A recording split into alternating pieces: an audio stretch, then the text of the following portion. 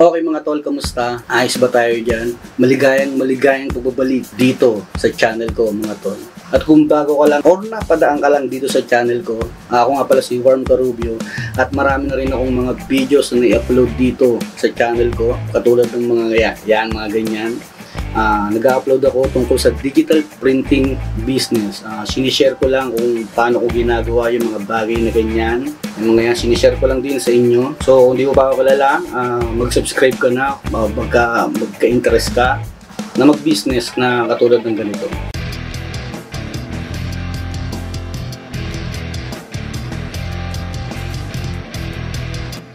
Okay, ngayong araw mga tol, ah, unboxing ulit tayo mga tol.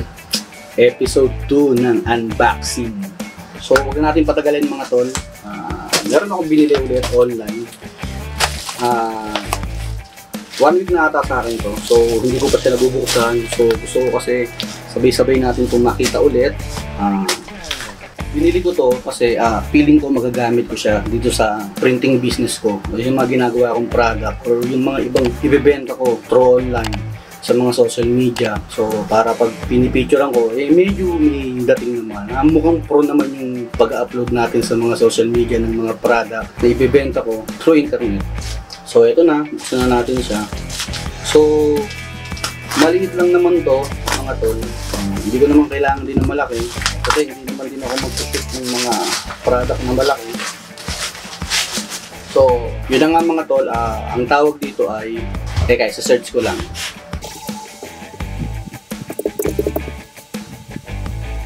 Mga tol, ang tawag dito ay Photo Studio Lightbox. Ah, mini lang siya, mini. So, maliit lang binili ko. Kasi yun nga, hindi ko naman kailangan ng masyadong malaki. So, may kasama siyang, eto, ah, kung nakikita nyo, may kasama siyang USB cable na pagkukunitan natin sa kanya mamaya. Dalawa yung background na meron siya, mga tol. Isang puti, yan.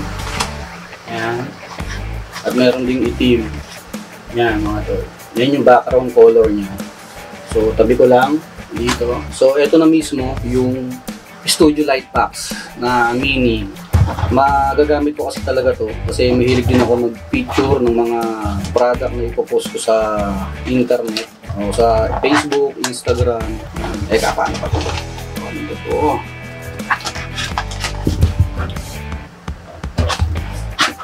Yan. So, ito yung itsura niya mga tol.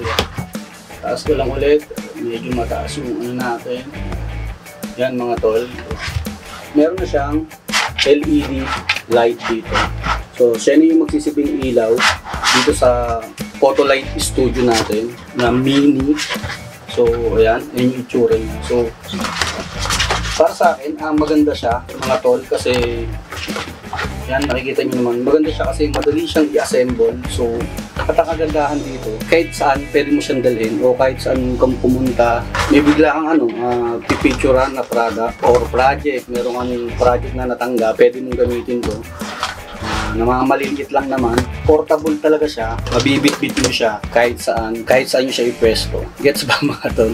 Kaya siya na medyo naninibago lang ako ng konti kasi nga episode 2 pa lang natin ng unboxing or review sa mga product na binibili natin o binibili ko pala. So pasensya na ako medyo hindi ako sanay na mag-explain, uh, mag-review sa mga ganito. Pero pipilitin ko sana masanay din tayo kasi isa na to sa magiging content natin. Mag-unbox tayo ng mga product na mga binibili ko para dito sa studio ko na sineset up ko dito sa working area ko.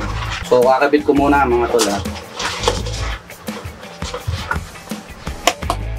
Madali lang siya mga tol oh, kasi naka, naka-forma na siya. eh. Ayan mga tol. Ayan na oh, mga tol. Kita? Ayan. O ayan mga tol yan. Pero feeling ko, ah, bago natin siya i- i-assemble, ah kutob ko lang, ah, feeling ko lang, ilalagay muna natin to. Ito, may dalawang butas siya rito. Yan. Tsaka dito rin mga tol, kung makikita nyo ah, meron din siya dito yung dalawang butas. Teka, dito sa taas. Ayan mga tol, kita ba? So, diyan natin ilalagay ito. Diyan natin i-hook yung background natin. So, kaya, tapos tsaka natin ulit siya i-assemble. Madali lang mga tol, hindi lang mahirap. Nakaporma na naman siya eh. Ah, naka-form na siya. So, madaling madali lang siyang gawin. Ayan na mga tol. Ayan. Ayan. Oh. Kasi ito yung LED niya. Ayan. Yung LED niya. Ayan. So, feeling ko dito natin ilalagay yung kasamang USB cable dito. So, ang gandahan din nito, pwedeng rekta siya sa socket, dun sa socket natin sa kuryente. At pwede rin siya, syempre, rekta na dito sa sa PC. Ano ito, sa kabila. So, ayan siya.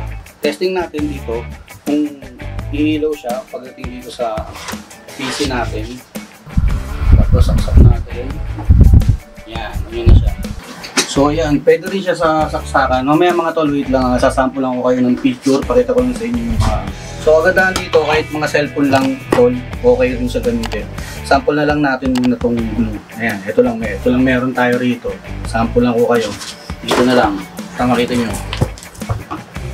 So, feeling ko magagamit ko talaga to tol. Kasi mahilig din ako mag-picture ng mga product at mag-post sa mga social media. So ayan. For example, ito mga tol. Patayin ko muna itong ilaw. Okay mga tol, sample lang ako sa inyo ng mga shot ha. So, ah, gamit natin yung cellphone natin.